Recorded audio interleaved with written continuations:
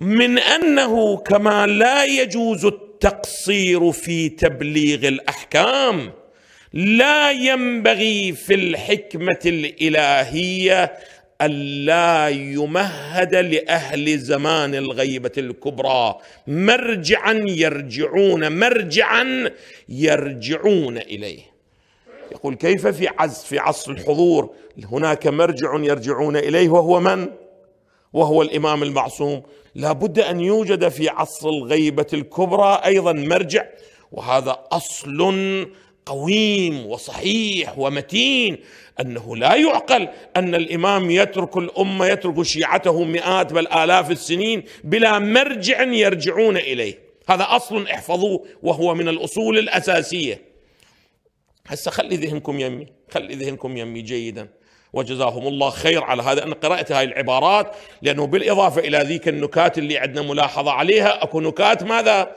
إيجابية الحق والإنصاف وقفوا عندها ولكنه لم يلتفت إليها في العصور المتأخرة.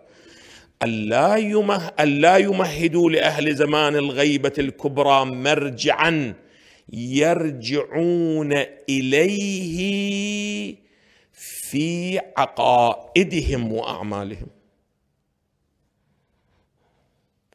وين يرجعون وحدة فقه الأصغر للأصغر والأكبر. أنا ما أريد أتكلم كثيرا ولا أريد أن أعلق أنا أتصور أن المؤسسة الدينية في عصر الغيبة الكبرى خصوصا الأعزاء اللي يقدمون رسائل بدل ما يريدون يروحون يقدمون رسائل في المني والبول والميتة عرفت شلون؟ فليكتبوا رسائل في هذه المجالات التي تهم مدرسة أهل البيت. المرجعية أعزائي في عصر الغيبة الكبرى لابد أن تقرأ من محاور أربعة أو خمسة أعزائي. هذه المحاور روحوا اشتغلوا عليها وثقفوا الأمة باتجاهها. المحور الأول في المرجعية أعزائي ما هي شروط من يتصدى لمرجعية الأمة؟ شروطه العلمية. دعونا الآن من الإدارية والسياسية وباقي. لا لا لا. من هو الذي يحق له؟ أن يقول أنا مرجع وأنا أتكلم باسم الطائفة. هذا المحور أعزائي يعبر عنه بالمحور الثبوتي. ما هي طرق إثبات هذا العلم الذي يملكه الشروط؟ من أين نتعرف أن هذه الشروط موجودة أو غير موجودة؟ هل الشياع يقول لنا هاي الشروط موجودة أو لا؟ هل الإعلام يقول لنا هاي الشروط موجودة أو غير موجودة؟ هل الفضائيات والقنوات تقول لنا هذه الشروط موجودة أو غير موجودة؟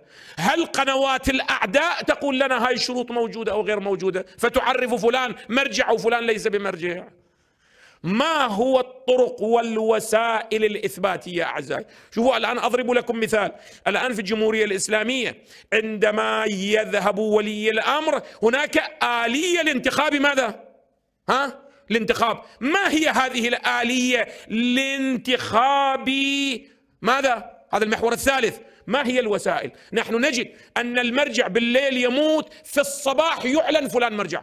منو اللي اجتمع وعين فلان مرجع وفلان مو مرجع؟ منو هذه؟ يا, يا مجموعة هذه. لماذا ليست هذه تحت الضوء؟ وإنما هي في الظلام تتخذ القرارات. هي من هذه الجماعة؟ إذا تتذكرون في الآونة الأخيرة بعد ذلك في إيران في جامعة مدرسين في قم اجتمعوا قالوا فلان وفلان وفلان. عينوا سبعة ثمانية عشرة. ما أدري ما هي الضوابط التي على أساسها قالوا هذا مرجع وهذا مو مرجع. ما أدري. ولكنه توجد ماذا؟ آلية وهي المسمات شنو؟ بكذا اسم. سؤال بينك وبين الله للمرجعية العامة ما هي الآلية؟ ومن يجتمع؟ وأين يجتمع؟ ويتخذ قرار فلان مرجع وفلان ليس بمرجع. وعلى أي أساس يتخذ القرار؟ وأنتم تعلمون يعني هذا القرار مصير من؟ بيده عزيزي. ها؟ مصير من؟ مصير الطائفة. أنا لابد أحصن ماذا؟ أحصن مؤسستي الدينية حتى لا تخترق. وإلا نحن لا نخالف. لابد أن توجد هناك مؤسسات هي التي تقرر من الذي يترشح ومن الذي لا يترشح. من الذي يستحق ومن الذي ماذا لا يستحق. ولا ولكن لماذا في الغرف المظلمة وليس تحت الضوء؟ لماذا؟ من صاحب القرار أنه فلان مات اذا فلان ماذا يصلح وفلان لا يصلح؟ ماذا يعبر عنه مولانا الصندوق أسود؟ هو نكتة أكو جيدة في الحاشية. يقول يستخدم العلماء اصطلاح الصندوق الأسود للإشارة إلى الأنظمة التي نستخدمها ولا نعرف طريقة عملها فأينما قلنا هذا صندوق أسود فأنا عندما قلت فيما سبق مولانا أن المرجعيات الشيعية تنتخب في الغرف المظلمة ما قلت السوداء همتي أنا كان مقصودي ماذا؟ ها؟ هذا المعنى وهو أنه بيني وبين الله أنت تعرف الآلية التي ينتخب بها المرجع أو لا تعرف مولانا؟ لا تعرف مولانا هل يوم مات فلان غدا مولانا صار ماذا؟ فلان يا شلون صار؟ من أين صار؟ ما هي مؤهلاته؟ ما هو تراثه؟ ما هو وضعه العلمي؟ ما هو كتاباته؟ ما هي ما هي من هم تلامذته؟ ما هو خدماته؟ ابدا لا يهم. مهم ماذا؟ قائمة. هاتوا له مولانا خمسين اسم مولانا موقعين هو الأعلم. شلون صار أعلم؟ لا نعلم. لا نعلم. شلون صار مولانا مرجع؟ لا نعلم. هاي هذا الصندوق الأسود. هاي الغرف المظلمة مولانا التي أشرت اليه واقعا ما هي آلية الانتخاب؟ جزاكم الله خيرا. نحتاج آلية لو ما نحتاج. وهذا الذي دعوت إليه. والان أدعو إليه. أنت الآن عندما تذهب أنا ما أريد أقول بعد تعالوا نقلد الفاتيكان مولانا. ولكن في النتيجة أنت تجد أنه الفاتيكان عندما يذهب البابا توجد آلية للانتخاب أو لا توجد.